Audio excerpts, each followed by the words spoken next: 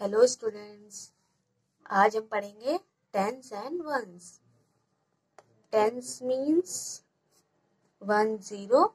ten ones mean one okay यहाँ पर हम दो रेड ट्रायंगल बनाएँगे ओके और हम उस पे एक पे लिख देंगे टेंस और एक पे वंस ओके इसके अंदर हम नंबर लिख देते हैं, इसके अंदर लिख देंगे इस बॉक्स में टू इस बॉक्स में थ्री टू टेंस मतलब टेंस मतलब टेन ओके तो टू बार हम टेन लिख देंगे ओके टेन प्लस टेन और थ्री वंस मतलब थ्री बार वन वन लिख देंगे वन वन वन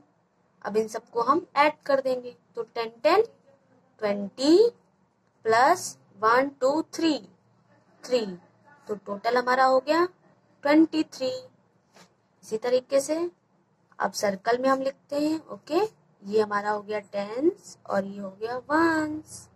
इसमें हम लिख देते हैं फाइव इसमें लिख देते हैं हम टू फाइव फाइव टेंस मतलब फाइव टाइप टेन लिख देंगे okay one two three four five okay और टू वंस मतलब टू बार one one one one okay total add कर देंगे fifty plus one two, fifty two. एक और देख लेते हैं। अब हम बनाएँगे ट्राइंगल ओके यहाँ पर लिख देंगे टेंस और यहाँ पर वंस